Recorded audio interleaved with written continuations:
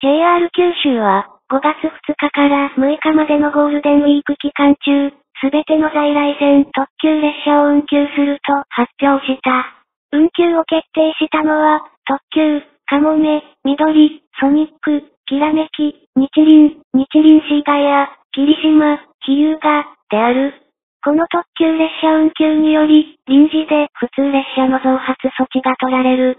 その中でも、今回注目したいのは、日東本線の総太郎越えである。大分県と宮崎県の県境にある総太郎峠、利用者が非常に少なく、JR 九州の死者境に当たるため、非常に本数が少なく、普通列車が1日に1.5往復しかない。今回、快速列車が増発になるため、利便性は多少向上するだろう。